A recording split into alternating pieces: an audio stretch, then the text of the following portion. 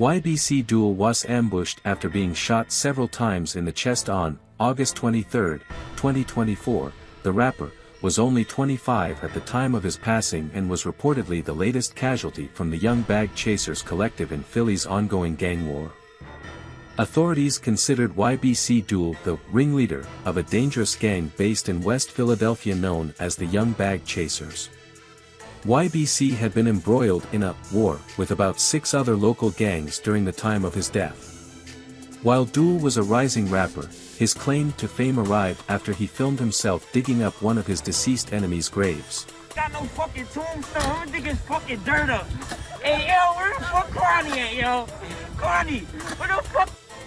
The footage went viral, and months later, Dul was a victim of gun violence.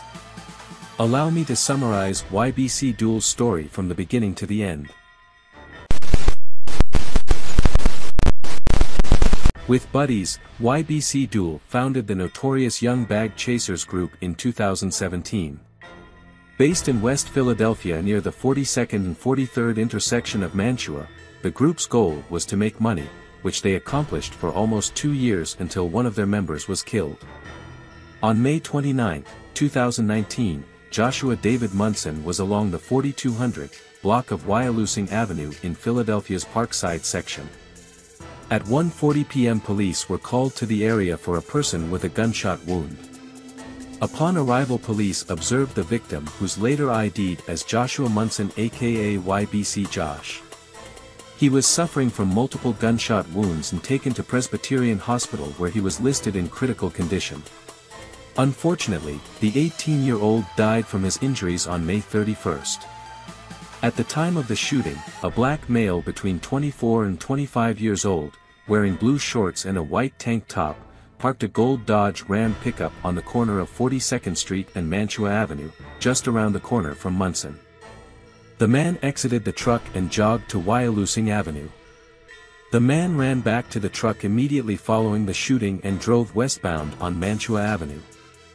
After this hit YBC members thought a gang from 39th Street was involved in Josh demise, in doing so they started the craziest hit sequence you could imagine.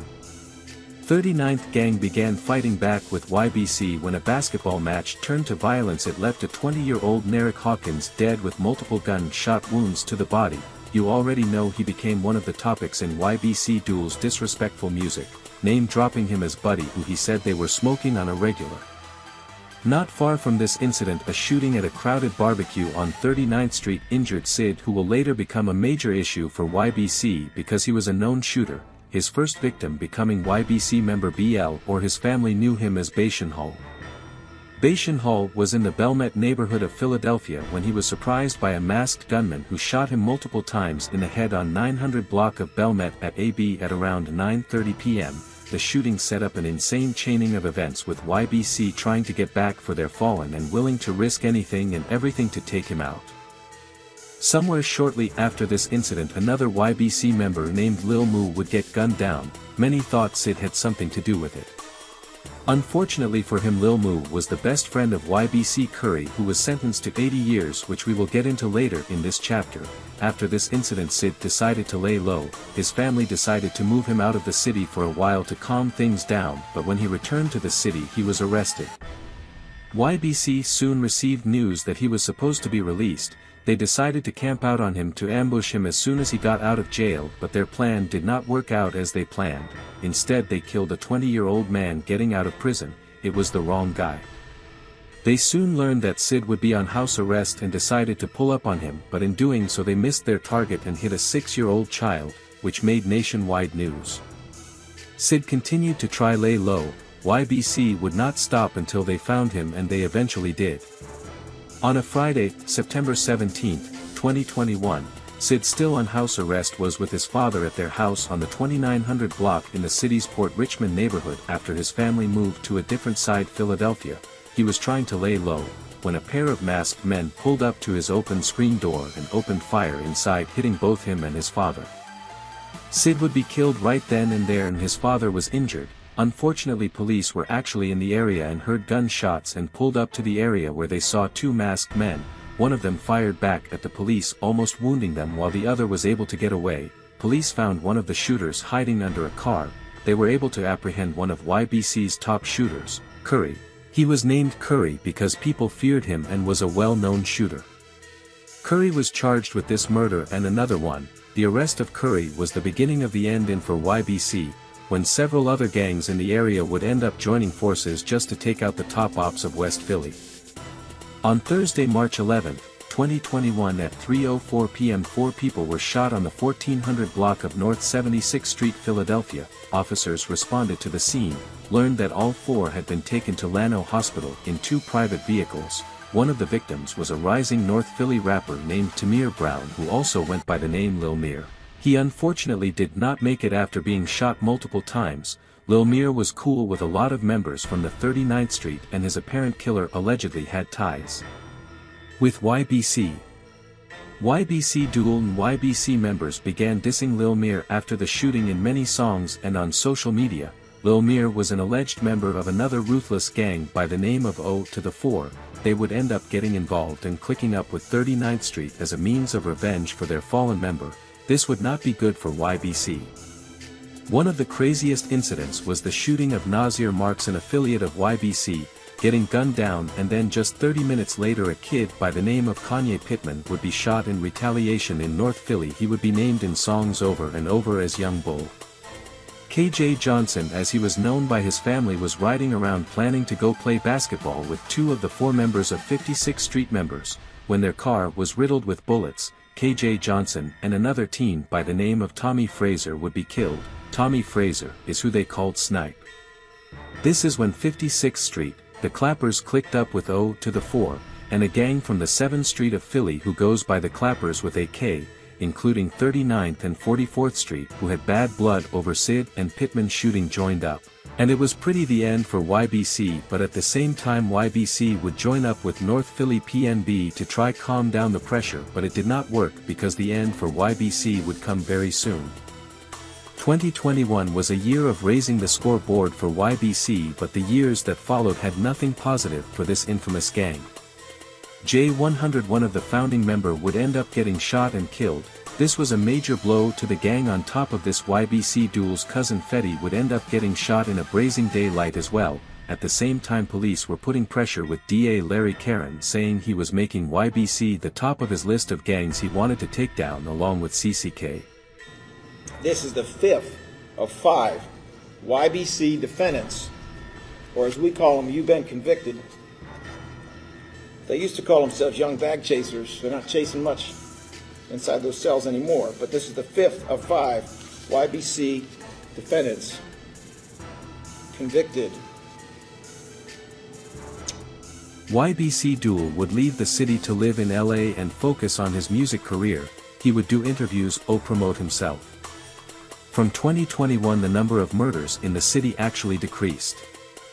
In February 2024 YBC Dul can be seen trolling his ops after he filmed himself digging up one of his deceased enemy's graves.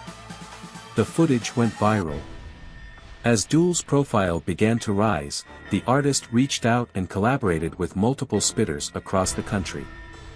The Philly native hopped in the booth with Lil Scum 89 and Bloodhound Lil Jeff for his song Long Live Jeffrey Dahmer, a track where the trio raps about, well, killing their ops. Unfortunately, all three of the young men would die a month during, before, and after the song was released. Jeff was killed in June, Lil Scum 89 died in July. YBC Dul, was killed August 23 while in a car on the 5500 block of North Fairhill Street, police said, around 3.30 p.m., another car pulled up alongside the vehicle and multiple shots were fired into the car. YBC Dul was struck in the chest and hand. He died a short time later at Einstein Medical Center. After the shooting, police found the getaway car burning in a lot on the 6900 block of North 15th Street on North 6th Street in Olney, a white Hyundai SUV held there as part of the investigation. Police say a 25-year-old man was killed after being shot in the chest and hand, but they are still working to find where the shooting happened. Sources ID him as Abdul Vicks, a rapper known as YBC Dul, affiliated with the West Philadelphia Young Bag Chasers or YBC gang. A short time later, just after 6, police say at least two shooters opened fire on a man walking on 12th near Fairmount in in North Philadelphia. Chopper video shows police focusing on this gray Hyundai that was riddled with bullets. Two weeks after West Philly rapper, a 16-year-old was charged with homicide in his death and other shootings in the city a couple months back. The Philadelphia District Attorney's Office, which held a news conference on a Friday afternoon to discuss the case, said it is charging Aiden Waters as an adult and that he faces charges in two other shootings that happened in August, including another homicide. A small group of young people in the city of Philadelphia made a decision to hold a gun, to point a gun at another human being and pull the trigger. The alleged teenage shooter is Aiden Waters. The DA says he's the killer of 25-year-old rapper Abdul Vicks in a shooting on the 5500 block of North Fair Hill Street in late August. Investigators report they've linked Waters to a wave of shootings in Philadelphia last month, along with the murder counts. He faces attempted murder, aggravated assault, and gun charges. It's called clout chasing. It's what we call it. It's what everyone, everyone calls it, I guess. You're looking for notoriety. You're looking to make a name for yourself. Prosecutors say the guns used in the killings were illegal and one had a switch installed, allowing for multiple shots with one squeeze of the trigger. Prosecutors are urging parents to search their children's rooms for guns. Recover the firearms that are in the homes, in the basements, under the rafters. Call the police. Tell them you found a gun in your house. Thank you for watching. Please like the video and subscribe to the channel, for more upcoming videos.